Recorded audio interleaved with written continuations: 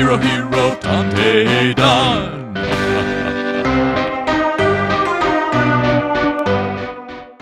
た保育園児の列に車が突っ込んだのか？なんかこういうの見てると切なくなるな。俺はヒロシ昔から感受性が豊かだと言われて育ってきたが自分でもそう思う。小さい時はピンとこなかったけど昔から一貫して感動映画やドキュメンタリーは苦手だ。だって見てると悲しくなってくるし主人公の心にダイレクトにアクセスしているような気分になるからなんで死んだんだよ。主人公のたった一人の親友だったじゃねえかよ。映画館には最後まで残る派。でもそれは泣き顔を見られたくないからだしエンドロールなんていつも涙でぼやけてまともに見たことがない。はあ。この子たちもまだまだ未来があったはずなのにな。命がいくつもあればいいのに。切実に思う。まだ幼く未来がある若者がこうして他人から一瞬で命を奪われる。それって償っても償いきれない滞在だ命が複数ある世界だったらどんなにいいだろう？ヒロシ本当にそう思うかい？あだ、誰だ？私はヒロヒロ探偵団。やり直し事業部の副部長スティーブ・バーグだ。君は人に命がいくつもある世界を本当にいいと思うのかい？な、なんだこいつ？ああその方がきっと人は幸せになれる。悲しい事件も減るはずだ。そうか。ではそれをヒロシが本気で望むのならヒロヒロ魔法のランプこれをこすりながら増やしたいものを3回唱えるとそれが増えた世界になるぞ何言ってんだこいつまあいや命命命俺、俺いつの間に変な夢見てたな俺はおかしな夢を見たんだと思っていた。だって人間にいくつも命なんてできるはずがない。だけど、はい、ああ、ひろしさん、こんにちは。ひろひろ生命の五十嵐です。実はちょっと契約内容についてご連絡がありまして、なんでしょうか？実は生命保険のサービスを廃止することになりまして、医療保険の方は変更点はないんですが、わずかではありますが、契約変更と返金手続きをさせていただきたく、ええ、廃止ですか？え、人間には命が3つあるというということが現時点で分かっていますので、生命保険のサービスのご提供が難しくなってまして、そうですか。どうやらあれは夢じゃなかったらしい。正直俺は嬉しかった。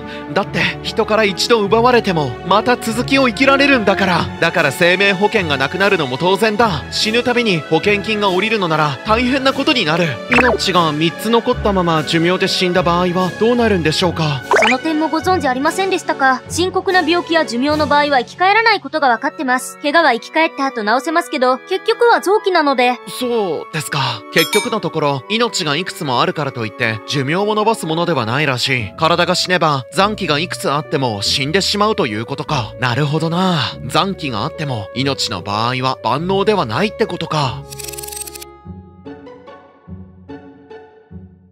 世界はどう変わってるんだろう。俺はテレビをつける。命がいくつもある世界なんて想像もつかなくて怖い。だからまず外に出る前に情報を得たかったのだ。すると興味深いニュースが飛び込んできた。20代女性をターゲットに連続殺人を犯した菊川氏の判決が出ました。死刑です。吉川氏は死刑です。刑は命3つ分と決定されこの判決は過去最高の極刑と言えるでしょう。命3つ分？命がいくつもある世界では死刑システムにも影響があるようだ。罪の重さによって命いくつ分と決めることができるのなら死刑のシステムも大きく変わるだろう。生き返っても記憶はあるんだしその体験って十分に極刑だよな。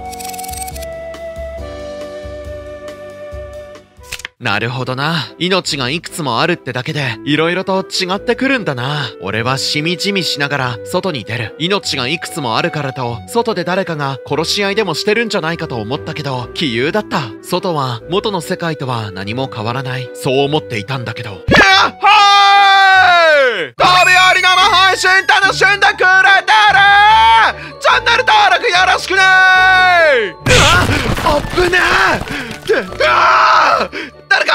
か救急車人が突然降ってくる経験なんてそうそうあることではない。あと一歩違っていたら俺も死んでいたかもしれない。よくよく考えたら救急車さっきからずっと鳴ってるな。俺は察した。きっとこの世界からは近いうち哲学の概念が大きく変わるだろう。宗教も消える。もしかしたらその宗教をめぐってまた恐ろしい戦争が起きるかもしれない。生き返ることができれば信じている神を否定しなければならなくなる可能性がある。死ぬことができるんだから死んだらどうなる？るだろうという疑問にも実体験で答えが出るわけだ。3つも命があるのだ。その答えを求めて自分の命を無駄にする人も多く出るのだろう。った。最後の命かどうかはこちらで確認できる術がないので、ヒヤヒヤしてましたよ。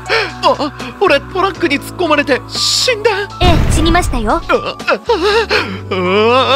俺は死んだトラックに突っ込まれたのだ怪我はそれほどでもなかったらしいが心臓を強く打って死んだのだと看護師は言う外傷はそれほどでもなかったので、よかったですね。看護師は淡々と俺に話すでも俺の心は恐怖心に支配されていたトラックに突っ込まれる瞬間の恐怖心何もできない無力感衝撃。今まで経験したことのない凄まじい痛み。